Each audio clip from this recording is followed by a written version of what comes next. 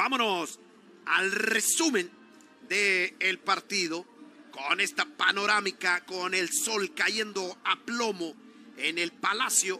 Así arrancábamos el duelo en eh, Julio Terán retirando en tres y luego vino la lesión de eh, Derek West, se fue del partido con corredor en tercera. Chule Mendoza conecta hacia la banda contraria, Sultanes ya ganaba una carrera por cero.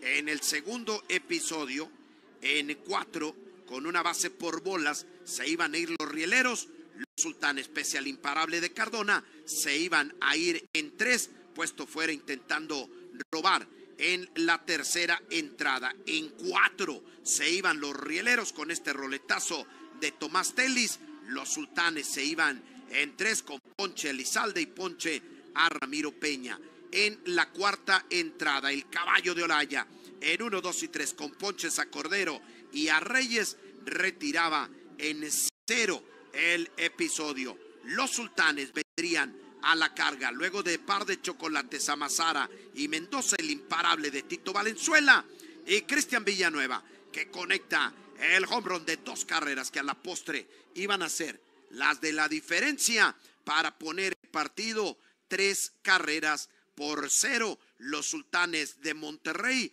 después de este episodio, vendría el quinto inning de trabajo de Terán. Y aunque Ramón Ríos le conectó el segundo imparable, iba a retirar en cero. Así se iban a ir también los sultanes de Monterrey. Prácticamente así nos íbamos a ir en el encuentro. Por sultanes después de Terán, Mukenhirn en la sexta Richard Rodríguez le iba a ayudar para terminar ese episodio, iba a regresar para retirar la séptima, luego Sasaki Sánchez en la octava e iba a terminar Nolan Kingham. Pero antes, Sebastián Elizalde con la casa llena y los sultanes de Monterrey en pleno ataque con un mal corrido de bases, se iban a ir con las manos vacías. El roletazo de Chule Mendoza para que de esta forma terminara el octavo episodio. La novena, el ponche a Cordero, el ponche a Ángel Reyes